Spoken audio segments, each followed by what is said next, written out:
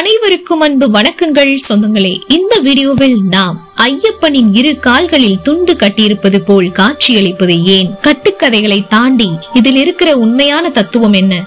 வாங்க தெரிஞ்சுக்கலாம். ஐயப்பனின் அவதார காரணம் பூர்த்தி பெற்றதால் தான் சபரிமலையில் தவம் இருக்க போவதாகவும் தன்னை தரிசிக்க வேண்டுமானால் அங்கு வருமாறும் கூறி சபரிமலையில் பதினெட்டு படிகளுக்கு மேல் தவக்கோலத்தில் அமர்ந்தார் அருள் தரும் ஐயப்பன். இன்றும் நாம் ஐயப்பனை அங்கு அந்த தவக்கோலத்தில் காணலாம். ஐயப்பனின் இரு கால்களில் துண்டு கட்டியிருக்கப்பட்டிருப்பதை காணலாம். அதற்கும் ஒரு காரணம் கூறப்படுகிறது. ஐயப்பனை காண பந்தல மகாராஜா ஒருமுறை வந்தபோது ஐயப்பன் தன் தந்தை என்ற காரணத்தால் எழ முயன்ற போது இறைவன் தனக்கு மரியாதை செய்ய எழுந்திருக்க கூடாது என்பதற்காக தன் தோளில் போட்டிருந்த பட்டு அங்கவஸ்திரத்தை ஐயப்பனை நோக்கி அவர் தூக்கி போட்டபோது அந்த அங்கவஸ்திரம் ஐயப்பன் காலை சுற்றி கொண்டதாகவும் கூறப்படுகிறது. உற்று நோக்கினால் ஐயப்பன் அமர்ந்த கோலத்திலிருந்து சற்றே எழுந்திருப்பது போல் தோன்றும் என கூறுகிறார்கள். மற்ற கோவில்கள் போல் சபரிமலை ஐயப்பன் கோவில் வருடம் முழுவதும் திறக்கப்படுவதில்லை. ஒவ்வொரு மலையாள மாதத்தின் கடைசி நாள் மாலை ஐந்து மணிக்கு கோயில் நடை திறக்கப்பட்டு மலையாள மாதத்தின் ஐந்தாவது நாளன்று நடை சாத்தப்படுமாம். ஆண்டுதோறும் நடைபெறும் மண்டல பூஜை மகர ஜோதி பூஜைகள் விசேஷமானவை. பொன்னம்பலமேட்டில் ஜோதி வடிவில் பக்தர்களுக்கு அருள்பாலிக்கும் ஸ்ரீ ஐயப்பன் அன்று காந்தமலையில் இருந்து சபரிமலைக்கு வருவதாக ஐதீகம். இதை தாண்டி ஐயப்பனின் அமர்ந்த நிலை உணர்த்தும் தத்துவம் என்ன தெரியுமா? ஐயப்பன் அமர்ந்த நிலையில் நான்கு ஆசனங்களையும் நான்கு வித முத்திரையையும் உள்ளடக்கி அருள் பாலிக்கிறார். அதை பற்றிதான் விரிவாக பார்க்க இருக்கிறோம். நாளும் தெரிந்தவர் என்றால் அனைத்தும் அறிந்தவர் என்று பொருள். வேதங்களை அடிப்படையாக கொண்டு இந்த வார்த்தையை சொல்வதுண்டு.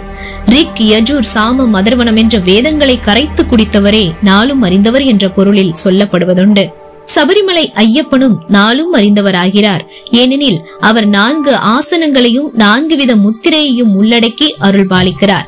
ஐயப்பனின் நான்கு ஆசனங்கள் தியான பிந்து ஆசனத்தில் அபயசின் முத்திரையிலும் கிருக நாரிய பீடாசனத்தில் யோக பிராணா முத்திரையிலும் குதபாத சிரேஷ்டாசனத்தில் அபானபந்த முத்திரையிலும் அஷ்டகோண சாஸ்தா ஆசனத்தில் யோக பத்ராசனத்திலும் அருள்பாலிக்கிறார்.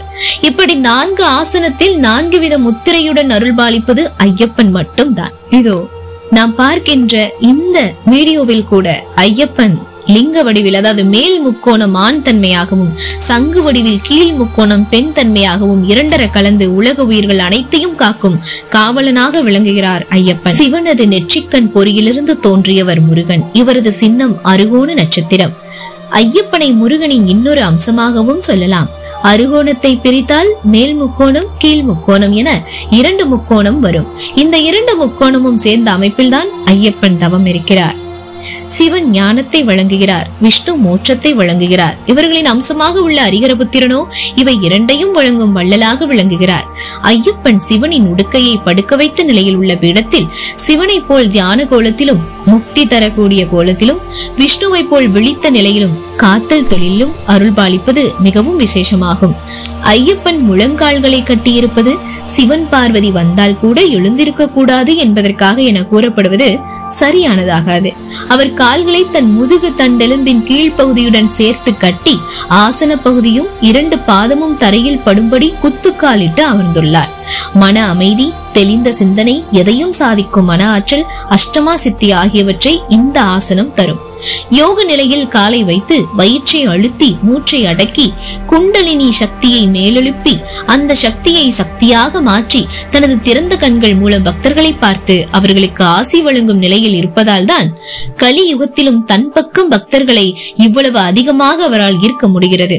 ஐயப்பன் தன் வலது கையில் பரமாத்மாவுடன் ஜீவாத்மா கலக்கும் முத்திரையையும் இடது கையில் ஜீவாத்மா பரமாத்மாவின் பாதத்தை சரணடையும் தத்துவத்தையும் குறிக்கிறார். அதாவது மனிதன் இறைவனை சரணடைந்தால் அவனுடன் கலந்து விடலாம் என்பதை ஐயப்பனின் முத்திரை குறிக்கிறது என்றே கூறலாம். இந்த ஆசனத்தை சாதாரண மனிதர்கள் செய்வது கடினம். ஐயப்பனின் இந்த ஆசனத்தை நாம் விரதமிருந்து சுத்தமான கண்களுடனும் மனதை அடக்கிய நிலையிலும் பார்த்தால் நமது உள்ளம் நிரந்தரமாக தூய்மையாகிவிடும் என்பதே நிதர்சனம். என்ன சொந்தங்களே ஐயப்பனின் கால்கள் ஏன் கட்டப்பட்டிருக்கு? கட்டுக்கதைகளை தாண்டிய அந்த உண்மையான தத்துவம் என்ன தாற்பயம் என்ன அப்படிங்கறத நீங்க தெரிஞ்சிருப்பீங்க புரிஞ்சிருப்பீங்க நம்புறேன். இந்த வீடியோ தெரியாத விஷயத்தை உங்களுக்கு தெரியப்படுத்தியிருக்கோம் நம்புறீங்கன்னா லைக் பண்ணுங்க. இதை நிறைய பேருக்கு ஷேர் பண்ணுங்க. எல்லாரும் தெரிஞ்சுக்கட்டும். மேலும் இந்த கதைகளை பத்தியும் இந்த மாதிரியான தகவலை பத்தியும் நீங்க கேள்விப்பட்டிருக்கீங்களா? இதுக்கு முன்னாடி அப்படிங்கறத கமெண்ட் பாக்ஸ்ல மறக்காம சொல்லுங்க. மேலும் இது போன்ற ஆன்மீக தகவல்களுக்கு நீங்க பண்ண நம்மளோட சேனல் சப்ஸ்கிரைப் பண்ண மட்டும் பார்த்தாங்க பக்கத்துல இருக்கிற பெல் ஐக்கான கிளிக் பண்ணிட்டு ஆல் அப்படின்ற ஆப்ஷன் செலக்ட் பண்ணி வச்சுக்கோங்க. அப்ப நான் எப்பெல்லாம் வீடியோ அப்லோட் பண்றேன் உங்களுக்கு அது நோட்டிபிகேஷன்ல உடனே வந்துட்டே இருக்கும். நீங்க உடனே ஓப்பன் பண்ணி பார்க்கலாம்.